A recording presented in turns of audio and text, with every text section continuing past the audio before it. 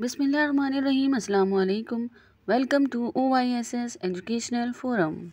Today we are going to start lecture number seven and lecture number seven is about preposition a preposition is a word that shows a relationship between a noun और pronoun and another word in a sentence student preposition वो word है जो noun या pronoun को sentence के बाकी word से जोड़ता है या उनके दरमियान ताल्लुक पैदा करता है। Prepositions usually come before a noun and give information about time place और डायरेक्शन प्रपोजिशन ज़्यादातर नाउन से पहले आता है और ये इंफॉर्मेशन देता है टाइम प्लेस या डायरेक्शन के बारे में।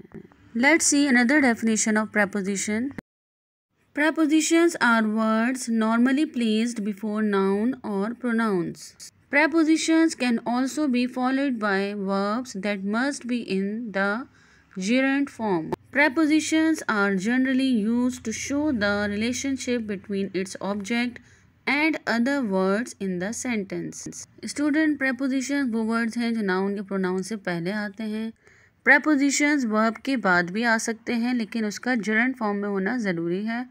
उसके अलावा प्रपोजिशंस जो हैं, वो रिलेशनशिप शो करते हैं ऑब्जेक्ट का बाकी के सेंटेंस के साथ।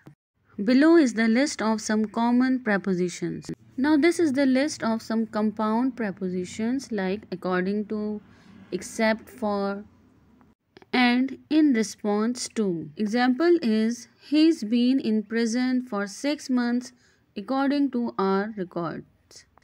Next is the list of some common prepositions and their uses. You can write it down in your lecture copy. For example, in the morning, on Sunday, at night.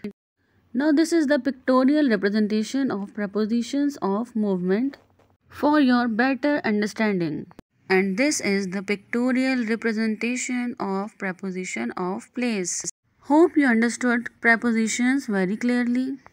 Your home task is do preposition exercises in your docket. Now that's all for today. Allah Hafiz.